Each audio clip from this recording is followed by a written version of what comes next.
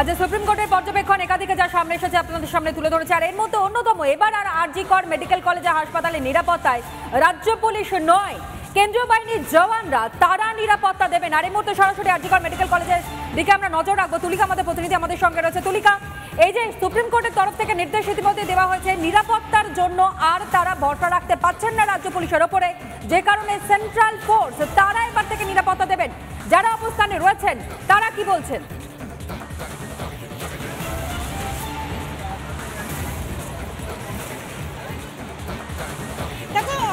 Supreme কোর্টের যে একটা বড় পদক্ষেপ যেখানে শতপ্রণোদিত মামলা, ইতিমধ্যে যে শুনানি তারা শুনানি ইতিমধ্যে যারা চিকিৎসকরা রয়েছেন, তারা কিন্তু ইতিমধ্যেই শুনছিলেন এবং আমরা একটুখানি চেষ্টা করব যারা যারা এখানে চিকিৎসকরা রয়েছেন, তাদের সঙ্গে একটু কথা বলার চেষ্টা করব। তার কারণ, যেভাবে আরজিকর হাসপাতালে কলকাতা পুলিশের যে দায়িত্ব, কলকাতা পুলিশ যে দায়িত্ব নিয়েছে সেই জায়গায় দাঁড়িয়ে কিন্তু এই মুহূর্তে সিআইএসএফ মোতায়েন করার নির্দেশ দেওয়া হয়েছে সুপ্রিম কোর্টের পক্ষ থেকে। আমি একটু অনেকের সাথে কথা বলার চেষ্টা করব। এই মুহূর্তে তারা সিদ্ধান্ত নেবেন বা তারা তারা এই মুহূর্তে কথা বলতে চাইছে না, তবে আমি আরেকজনের সাথে একটু কথা বলার চেষ্টা করব। দিদি আরজিকর হাসপাতালে এই মুহূর্তে সিআইএসএফকে দায়িত্ব দেওয়া হয়েছে। সিআইএসএফ নিরাপত্তার দায়িত্বে থাকবে সুপ্রিম কোর্ট এই নির্দেশ দিয়েছে এই বিষয়ে কি বলব আমরা একটু নিজেরা বসে না ঠিক করে বলতে পারছি না। ব্যাপারটা হচ্ছে আমাদের আট তারিখে যে ঘটনা ঘটেছে, সেই অপরাধীর বিচারটা আমাদের আগে দরকার, দ্রুত দরকার, আর তার সঙ্গে যে ভ্যান্ডালিজম হয়েছে, তারপরে যা যা সুপ্রিম কোর্ট বলছেন, এই নিয়ে আমাদের একটা মিটিং হবে, তারপরে আমরা নিশ্চয়ই বলব। যে সুপ্রিম কোর্টে তাদের ঘটনার পরেই তো মূলত তাদেরকে মূলত সুপ্রিম কোর্টের তরফ থেকে যেমনটা বলা হচ্ছে যে আর রাজ্য পুলিশের নিরাপত্তা দিতে হবে না রাজ্য পুলিশের ওপর আস্থা থাকছে না। যে কারণের জন্য সেন্ট্রাল ফোর্স মোতায়েন করা হোক সেই বিষয়টা জানিয়েছেন। তুমি আমাদের সঙ্গে থাকো চিকিৎসক কুণাল সরকার তিনি আমাদের সঙ্গে রয়েছেন টেলিফোন লাইনে। ডক্টর সরকার কি বলবেন? সুপ্রিম কোর্টের তরফ থেকে স্পষ্ট করে জানানো হয়েছে, চোদ্দ তারিখ মধ্যরাতে যেভাবে ভাঙচুর চালানো হয়েছে আজিকর মেডিকেল কলেজ হাসপাতালে, তাতে সুরক্ষিত নন চিকিৎসকরা যে কারণের জন্য এবার সিআইএসএফ জওয়ানরা তারা দায়িত্ব নেবেন, তারা নিরাপত্তায় থাকবেন।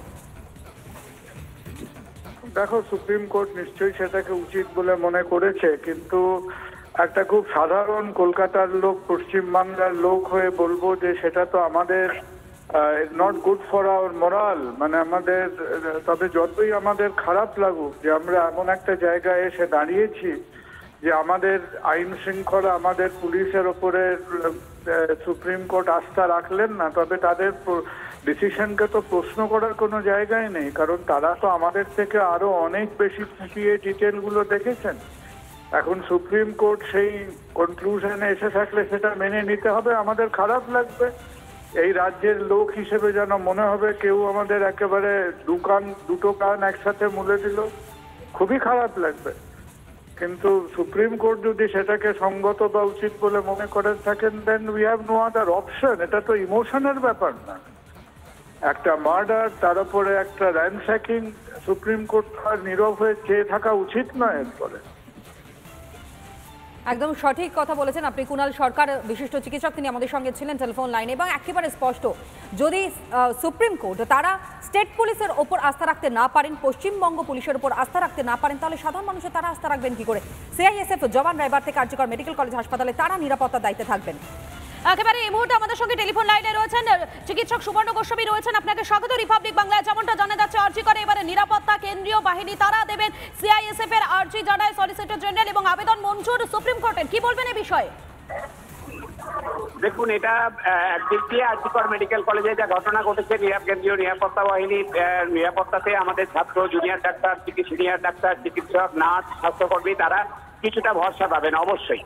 কিন্তু যেটা হচ্ছে যে এরকম একের পর এক ঘটনা ঘটিয়ে যাবে, রাজ্য প্রশাসনের উপরে অনাস্থা প্রকাশ করবে, আদালত এবং তারপরে কেন্দ্রীয় বাহিনী দিয়েও যে ঘিরে নেবে, তাহলে রাজ্য পুলিশের ভূমিকা নিয়েও আমাদের হচ্ছে প্রশ্ন তুলতে হবে। আমরা যে প্রশ্ন চিকিৎসক সংগঠনগুলো প্রথম দিন থেকে যে প্রশ্নগুলো তুলেছি, যে দাবিগুলো তুলেছি, উত্থাপন করেছি সেইগুলোর যে আইনগত ভিত্তি এবং বাস্তব যৌক্তিকতা আছে, সেটা হচ্ছে যে গণমাধ্যমে আপনারা প্রমাণ করেছেন, আপনারা মান্যতা দিয়েছেন, তার পাশাপাশি আজকে দেশের সর্বোচ্চ আদালত তারাও মান্যতা দিল ফলে আমরা সঠিক প্রশ্নই তুলেছিলাম, তুলেছি এবং সঠিক দাবিগুলোই তুলেছি।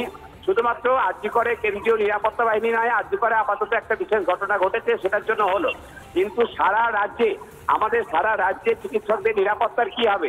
একদম কাকদ্বীপ থেকে কোচবিহার, একদম প্রত্যন্ত গ্রামে, গঞ্জে যেসব স্বাস্থ্যকর্মীরা, বিশেষ করে মহিলা স্বাস্থ্যকর্মীরা আছেন, চিকিৎসকরা আছেন, তারা রাজবিরেতে একা একা ডিউটি করেন, তাদের নিরাপত্তার কি হবে? ফলে সামগ্রিকভাবে রাজ্য এবং দেশেরও একটা সমস্যা। ফলে যে ন্যাশনাল টাস্ক ফোর্স ইত্যাদি করেছে সেখানে হচ্ছে টাইম বাউন্ড উপায়ে চিকিৎসক সংগঠনগুলোর প্রতিনিধিদের রেখে একদম নির্দিষ্টভাবে শর্ট টার্ম মিড টার্ম এবং লং টার্ম পরিকল্পনা করে সেটাকে শেষ করতে হবে। সুপ্রিম কোর্ট যেন তারিখে তারিখ না দিয়ে যায় সেটা খেয়াল রাখতে হবে এবং হচ্ছে যে একটা সামগ্রিক পরিকল্পনা করতে হবে যাতে করে হচ্ছে যে একটা মানে সুরক্ষিত কাজের পরিবেশ চিকিৎসক স্বাস্থ্যকর্মীরা সহ সমস্ত নাগরিকরা পান। একেবারেই। ধন্যবাদ। আমাদের সঙ্গে টেলিফোন লাইনে ছিলেন চিকিৎসক সুবর্ণ গোস্বামী। আপনাকে ধন্যবাদ। এই মুহূর্তে আমাদের সঙ্গে টেলিফোন লাইনে রয়েছেন চিকিৎসক ফোয়াদ হালিম রয়েছেন। আপনাকে স্বাগত রিপাবলিক বাংলায়। আর্জি করে এবার থেকে নিরাপত্তা দেবে কেন্দ্রীয় বাহিনী সিআইএসএফ এর আর্জি জানায় সলিসিটর জেনারেল এবং সেই আবেদন মঞ্জুর সুপ্রিম কোর্টের কি বলবেন আপনি এ বিষয়ে?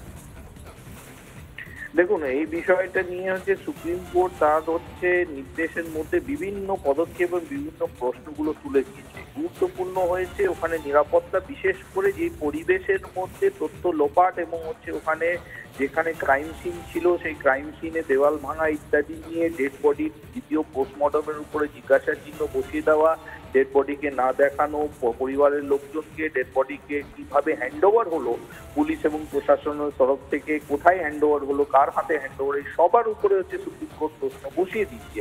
এই পরিস্থিতিকে আরও হচ্ছে যেন তথ্য লোপাট না হয়। এই পরিস্থিতিকে আরও হচ্ছে যেন হচ্ছে রাজ্য সরকার রাজ্য পুলিশ যেন না বিঘ্নিত করে তার জন্য সলিসিটর জেনারেল হালিম বলেছে সাহেব আপনি আমাদের সঙ্গে একটু থাকুন। এই মুহূর্তে বিকাশ রঞ্জন ভট্টাচার্য আইনজীবী তিনি আমাদের সঙ্গে রয়েছেন।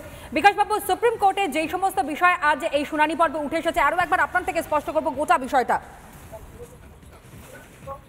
দেখুন কলকাতা হাইকোর্টের যে আদেশ সুপ্রিম কোর্ট সেটা বহাল এবং সুপ্রিম কোর্ট খুব বিক্ষোভ ক্ষোভ প্রকাশ করেছেন রাজ্য সরকারের ভূমিকায় পুলিশের ভূমিকায়। বহু মন্তব্য করেছেন এবং শেষ পর্যন্ত সুপ্রিম কোর্টে বলেছে এই পুলিশ কি করে চিকিৎসকদের সুরক্ষা দেবে? যারা হস্টেল থেকে চলে গেছে, তারা ফিরে আসবে, সুরক্ষা দেবে, এই পুলিশ তো যেতে পারবে না। তখন আমাদের পক্ষ থেকে আমরা দাবি করি, সলিসিটর জেনারেল এবং আমি, যে তাদের সেন্ট্রাল ফোর্স দাও। এবং সেটা সুপ্রিম কোর্ট মেনে নিয়েছেন এবং তারা বলেছে, আরজি করে সমস্ত নিরাপত্তা দায়িত্বে থাকবে সেন্ট্রাল ফোর্স বিকাশবাবু আরও বেশ কয়েকটা বিষয় আজ সুপ্রিম কোর্টে উত্থাপিত হতে শোনা গিয়েছে এবং সেখানে প্রধান বিচারপতি তিনিও উষ্মা প্রকাশ করেছেন। এক তো হচ্ছে তৎকালীন অধ্যক্ষের ভূমিকা, দ্বিতীয়ত রাজ্য পুলিশের ভূমিকা, তৃতীয়ত এফআইআর, চতুর্থত পোস্টমর্টেম রিপোর্ট এবং একই সঙ্গে যেভাবে ভাঙচুরের ঘটনা ঘটেছে সেই সমস্ত বিষয়। সবটাই তো বললাম যে রাজ্য সরকারের সামগ্রিক ভূমিকা, পুলিশের ভূমিকা নিয়ে সুপ্রিম কোর্ট ওপেন কোর্টে অসন্তোষ প্রকাশ করেছেন। এবং অসন্তোষ প্রকাশ করেছেন বলেই তো তারা আর্যিকরের দায়িত্ব কেন্দ্রীয় বাহিনীকে দিলেন। এটা তো পরিষ্কার। বেশ, ধন্যবাদ জানাই আপনাকে। বিকাশ রঞ্জন ভট্টাচার্য, বিশিষ্ট আইনজীবী, তিনি ছিলেন আমাদের সঙ্গে টেলিফোন লাইনে। আরও একবার আপনাদেরকে জানাই আরজিকর মেডিকেল কলেজ হাসপাতালে গত চোদ্দ তারিখে যে ঘটনা ঘটে গিয়েছে মধ্যরাতে, এক তো হচ্ছে অভয়াকে হত্যার ঘটনা, অন্যদিকে পরবর্তী সময় হাসপাতালে ঢুকে দুষ্কৃতীরা তারা ভাঙচুরের ঘটনা ঘটায়, যার প্রেক্ষিতে ইতিমধ্যেই সিআইএসএফ তারা নিরাপত্তার দায়িত্বে থাকবেন, এমনটাই কিন্তু ইতিমধ্যে নির্দেশে দেওয়া হয়েছে। সুপ্রিম কোর্টের পক্ষ থেকে। ফুয়াদ আলিম, তিনিও এই মুহূর্তে আমাদের সঙ্গে রয়েছেন। ফুয়াদ সাহেব, যেমনটা আপনি বলছিলেন মূলত নিরাপত্তার দায়িত্বে রাজ্য প্রশাসন যে প্রশ্নটা আজ উঠেছে এই শুনানি পর্বে, আইন শৃঙ্খলা নিয়ে প্রশ্ন উঠেছে, রাজ্য পুলিশের ভূমিকা নিয়ে প্রশ্ন উঠেছে এবং তার প্রেক্ষিতে দাঁড়িয়ে এই সিআইএসএফ তারা দায়িত্ব নিচ্ছেন এমনটাও কিন্তু স্পষ্ট নির্দেশ দেওয়া হয়েছে সুপ্রিম কোর্টের পক্ষ থেকে। না, এটা তো স্পষ্ট যে সুপ্রিম কোর্ট তাদের কনফিডেন্স রাজ্য পুলিশ প্রশাসনের উপরে হারিয়েছে।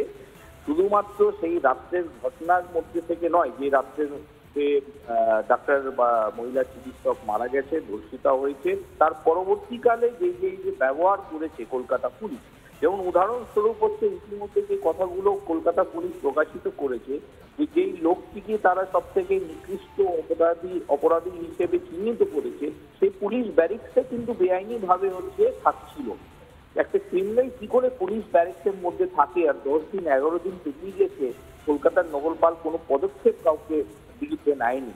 দ্বিতীয় হচ্ছে পুলিশের মোটরসাইকেল ব্যবহার করছিল বেআইনি ভাবে ফলে পুলিশ প্রশাসন একেবারে হচ্ছে বেআইনি কাজকর্মর হচ্ছে পরিচয় দিয়েছে। শুধুমাত্র সেই রাত্রের বিষয় নিয়ে তার পরবর্তীকালে চোদ্দ তারিখ রাত্রে যখন আর্যিকরণের হামলা হয় তেরো তারিখ রাত্রে পুলিশের উপস্থিতিতে দেওয়াল ভাঙা হয়েছে। সবটাই হচ্ছে আমার মনে হয় সুপ্রিম কোর্টকে প্রভাবিত করেছে। সুপ্রিম কোর্ট কলকাতা পুলিশের কাজ করার উপরে তাদের কনফিডেন্স হারিয়ে এই সিদ্ধান্তটা নিয়েছে। এটা পশ্চিমবাংলার মানুষের জন্য দুর্ভাগ্যজনক। ঠিক। ধন্যবাদ জানাই আপনাকে। ফুয়াদ আলিম বিশিষ্ট চিকিৎসক তিনি